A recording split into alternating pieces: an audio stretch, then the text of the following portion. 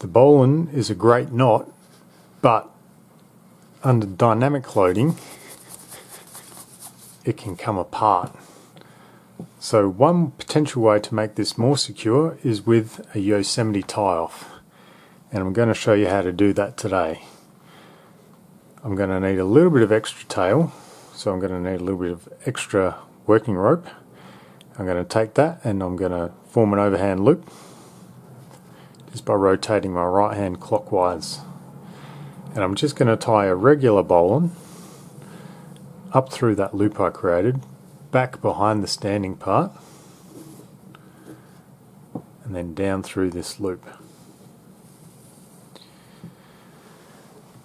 Now that's the regular bowline. To do the Yosemite tie off, we want to follow this loop around and then up out the top. So just take your working end and follow that line of the rope exactly. And there we have the Yosemite finish in its loose form. Now it's very important with this particular knot that you have to set it in the exact right order and in order to do that we're going to take the standing part and the bottom loop and we're going to pull those first.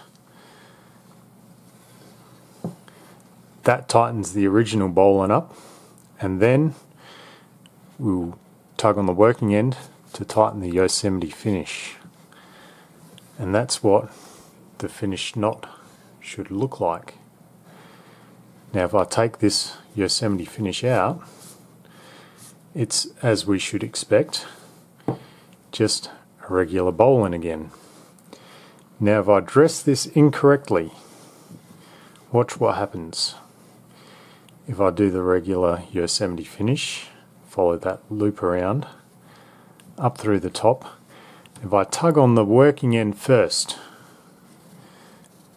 that will bring this loop up to the top. And then if I uh, tighten from the standing standing part of the rope, the bowline will tighten from underneath.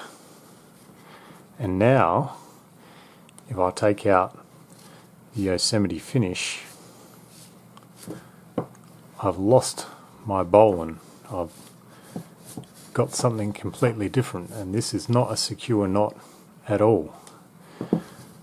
So when doing the Yosemite finish, it's very important that you get it right.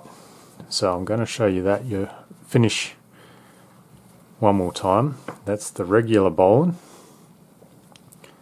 Come around, follow that rope through, and then after you've found the loose form,